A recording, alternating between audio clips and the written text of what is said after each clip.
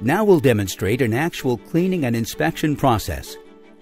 Begin by identifying what connectors you are working with.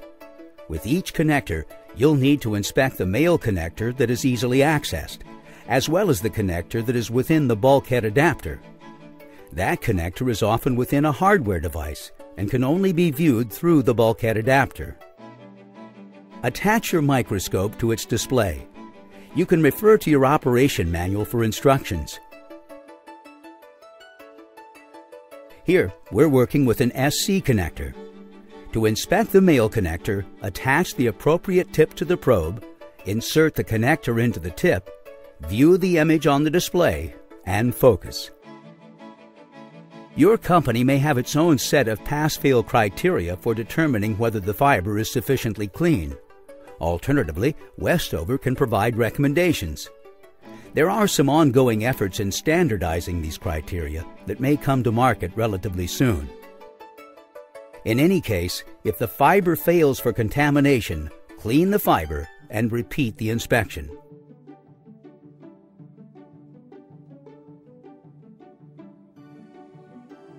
In general, you do not want to clean until you have first inspected.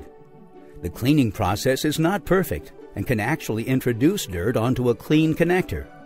The correct process is inspect, clean, inspect, and repeat if necessary. If the fiber is clean at any inspection, it is ready to be put into service. Remember, it is critical to inspect both sides of the interconnect before mating. To inspect the connector within a bulkhead, the process is similar. Change the tip on the probe to the appropriate bulkhead tip. Insert the tip into the bulkhead adapter and focus. Once again, determine whether the fiber is acceptable by comparing it to a set of pass-fail criteria. If the fiber fails due to contamination, clean the fiber and repeat the inspection. The process of cleaning through the bulkhead is a bit different, and there are a number of tools that can be used. We recommend using this type of cleaner or Westover's Clean Blast system, but traditional swabs can also be used. In any event, follow the manufacturer's instructions for use. Again, follow the process of inspect, clean, inspect, and repeat if necessary. If at any point the fiber passes an inspection, it is ready to be put into service. A couple of quick notes about cleaning. Dust caps are known sources for contributing dust onto a fiber. While this is not intuitive, it is a proven fact. Never assume a fiber is clean because you've just removed a dust cap. Also, you will run across fibers that have stubborn dirt that won't come clean. You can try using a wet dry cleaning process on these. If you do, be sure to carefully follow the manufacturer's instructions, as wet cleaning processes can sometimes create more problems than they solve. Lastly, in some cases, stubborn dirt won't come clean, and the fiber must ultimately be rejected. Your company may have its own policy for how many cleaning cycles it recommends prior to rejecting a connector. If not, our recommendation is 3 to 5 cleaning cycles.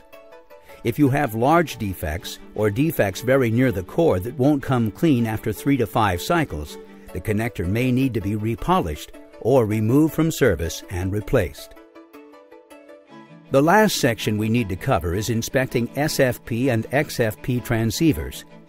These devices are becoming more and more common in our industry, and they provide some additional challenges.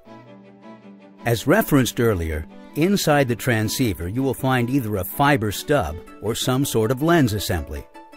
If you find a fiber stub, you can simply treat it as an LC connector within a bulkhead adapter. If you focus inside this device and see an unusual image that is clearly not a simple fiber end face, you are likely looking at a lens assembly of some sort. These devices vary widely in design, and it is not productive to try and teach you how to discern exactly what you're looking at in each case. What is critical to understand is that you're looking for contamination on an otherwise round field of light. Let's walk through some basic guidelines for inspecting transceivers.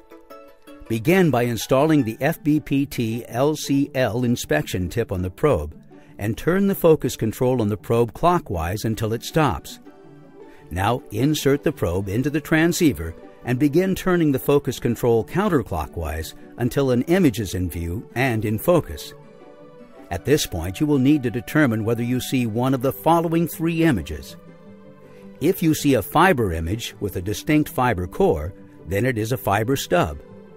This can simply be inspected and cleaned like an LC connector within a bulkhead adapter. If the contamination cannot be cleaned and the device does not perform properly, remove the device from service and replace. If you see an image with a distinct metal ring, then it is a ferrule stop. Once you have identified the ferrule stop, continue turning the focus control to see if any contamination is present on the lens element. If at any point you see a field of white light with dark specks, focus on the specks to view the contamination on the lens surface. If contamination exists, note that the lens element within this device is not accessible for cleaning. However, the device may still be operable. Furthermore, since it is a non contact device, attaching a connector to the device does not risk damaging the connector or the device. Put the device into service. If it fails the inspections and does not perform properly, contamination is likely the root cause, and it should be removed from service and replaced. If there is no discernible fiber image or metal ring, then it is most likely a flat lens design. As you turn the focus control, you will see a variety of images at multiple focal points inside the device. If you see a field of white light with dark specks, it is likely the surface of the flat lens. If the contamination is on the leading surface of the lens, you should be able to clean it much like a connector within a bulkhead adapter. If the contamination is on a surface that is sealed inside the device, it cannot be cleaned. If the contamination cannot be cleaned and does not perform properly, remove the device from service and replace. Inspection and cleaning are critical at every stage of handling fiber. Component manufacturing, assembly, system test, receiving QC, installation, and maintenance and troubleshooting. Many companies have already learned the hard way just how important this really is. For instance, if system manufacturer neglects to inspect and clean prior to mating fiber at system test, it's probable that a dirty test lead will contaminate and possibly damage the system before it ships. As you can imagine, this could cause all kinds of problems for the manufacturer and the customer. In summary, dirt and contamination are major obstacles to achieving a seamless, robust, high powered fiber network. The tiniest particle of dirt in a fiber interconnect can have a huge impact on signal loss and the performance of your network. By proactively inspecting and cleaning connectors each time before they're mated, you will save countless hours and dollars on unnecessary troubleshooting and downtime. As the world's leading manufacturer of fiber optic inspection equipment, Westover Scientific offers a wide variety of solutions to match virtually any application where fiber is deployed. Our goal is to offer a simple, efficient, and cost effective solution for maintaining cleanliness of fiber end faces at every stage of life. Thank you for your time. Remember, always inspect before you connect. Westover Scientific, the industry's leading supplier of optical connector inspection equipment.